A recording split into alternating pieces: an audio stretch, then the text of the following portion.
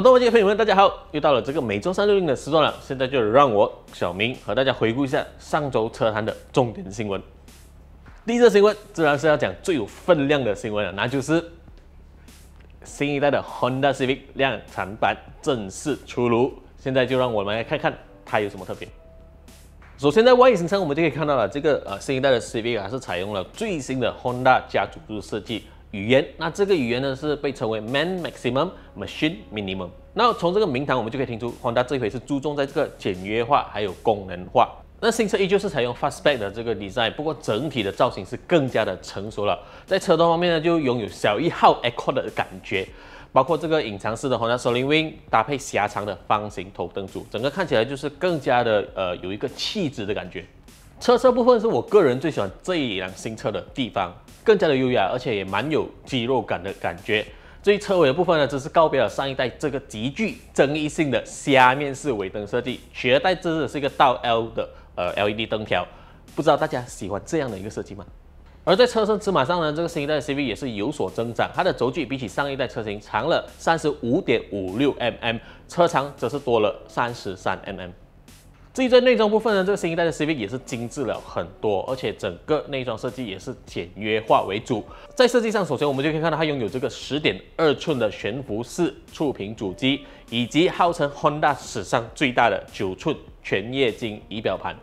同时，这个 C segment 轿车呢，它也拥有十二个扬声器所组成的立体式环绕音响系统。那相信这个是高阶车型才会有的一个配备。不过，最吸引到我的还是它的这个空调出风口的设计，有这个横贯整个 dashboard 的蜂巢网，很酷又很复古的感觉。而下方的这三个旋钮呢，看起来也是很精致。估计在手感方面呢，会和这个新一代的 CD 一样，就是转的时候会嘎啦嘎啦嘎啦这样子，很有 feedback。在动力部分呢，和我们之前所讲的这个中国版新一代 CV 不同，美规的 CV 依旧延续上一代的动力配置，那就是分别推出2.0的自然进气引擎以及1.5 L 的 VTEC Turbo 引擎。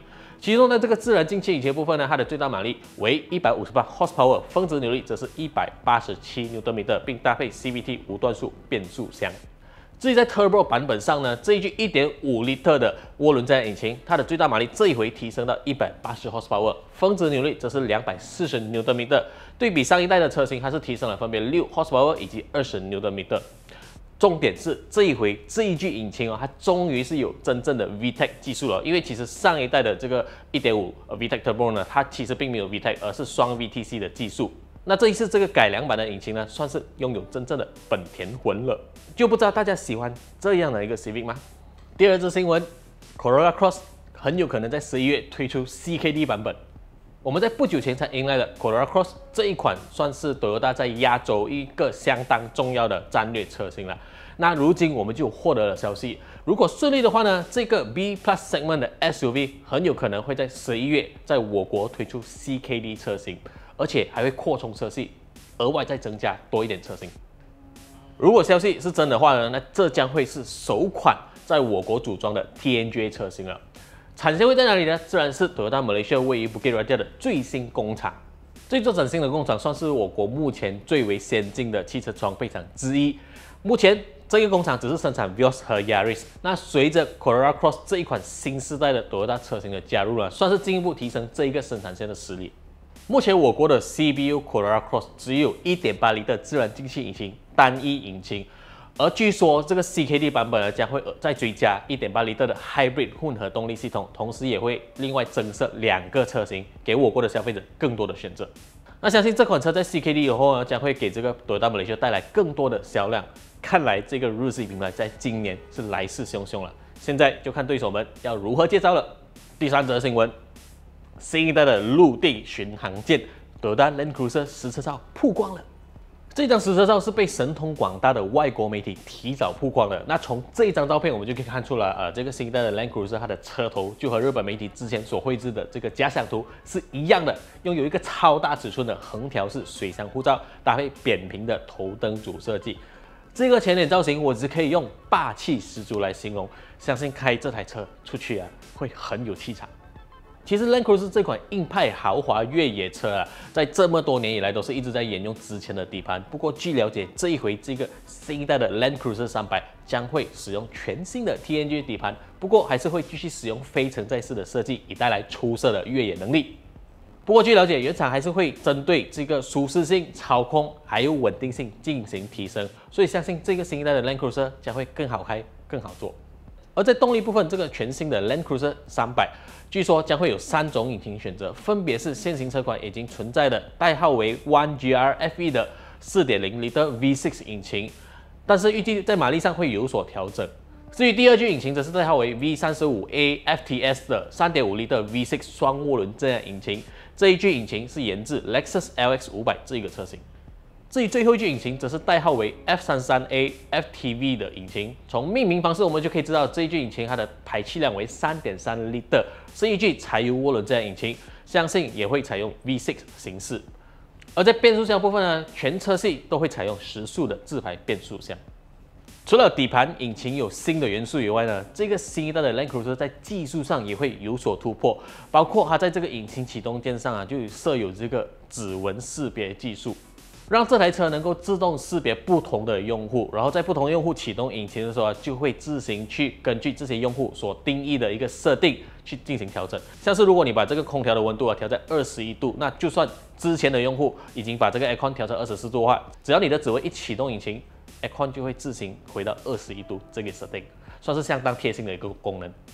由此可见，这将会是史上最强、最奢华、最先进的陆地巡航舰。你们期待它的到来吗？第四则新闻还是 Toyota，那这回主角是 Corolla。相信大家都知道啊，Toyota 最近是重拾热血情怀，最新的作品就是那个战斗力十足的暴力鸭 GR Yaris。而之前有消息指出，Toyota 也有意为这个 Corolla 追加钢炮版本。这个传闻还不懂恐不恐风啦。不过如今 Toyota 就先发表了这一款赛车版的 Corolla Sport 来参加2021年的超级耐力巡回赛。那这辆赛车呢？它其实搭载的就是 G R Y R 所使用的那具地表最强1.6三缸涡轮这样引擎。可是，在这一辆赛车上，它不打油，它用的是 hydrogen 氢燃料。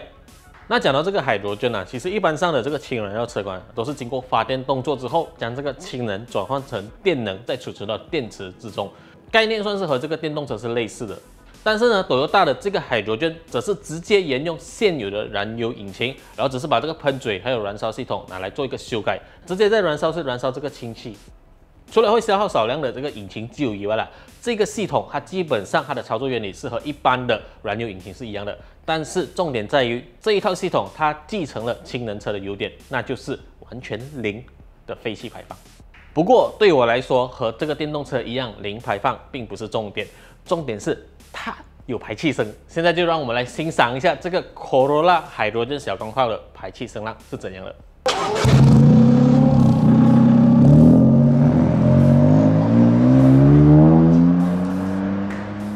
第五则有点特别了，它是一个非官方的传闻，Prodo 啊有新车。那 Prodo 在发表这个非常重要的产品，也就是 Prodo Adiva 以后，似乎没有松懈下来，因为我们最近收到一点风。这个 Pro 有一款代号为 D51A 的新车要来了，是什么车来的呢？小改款的 MyV。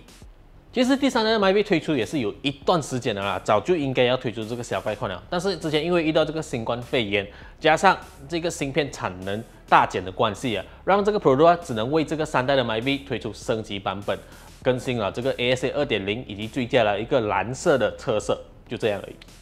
但是根据我们所获得的这个非官方路边社消息呢，Prodo 正在计划推出真正的小改款 MyV 新车，有可能在明年之前来临。目前我们还没有任何关于这一款新车的详情，但是我们预计这个小改款的 MyV 呢，很有可能会导入最新的 ASA 3.0，呃，可能会多了这个车侧盲点侦测的功能。至于自动远近光灯，还有这个主动式定速巡航这一些比较 ADAS 的功能，则有可能不会来到这个小改款的 MyV，毕竟 MyV 的定价比较低。同时也要和这个阿迪巴做一个更加清楚的定位区分，但是我最关心的还是小改款的 MyV 会不会导入 Pro 最新的一点零三缸涡轮增压引擎呢？你希望这个小改款的 MyV 会继续沿用 NA 加四速自排，还是换上全新的 Turbo 加上 CVT 呢？欢迎在下方留言告诉我们。好了，以上就是这一期每周三六六的所有新闻了。不知道以上的这一些新闻有哪一款新车挑起了你的兴趣呢？欢迎在下方留言，还有报道和我们一起交流。我是小明，喜欢这一期影片的话，记得不要忘记按赞，还有分享出去。当然，最重要的还是订阅我们的频道。我们接下来会带为大家带来更多不同的这个内容，大家就敬请留守我们的这个 channel 了。我们下期节目再见，拜拜。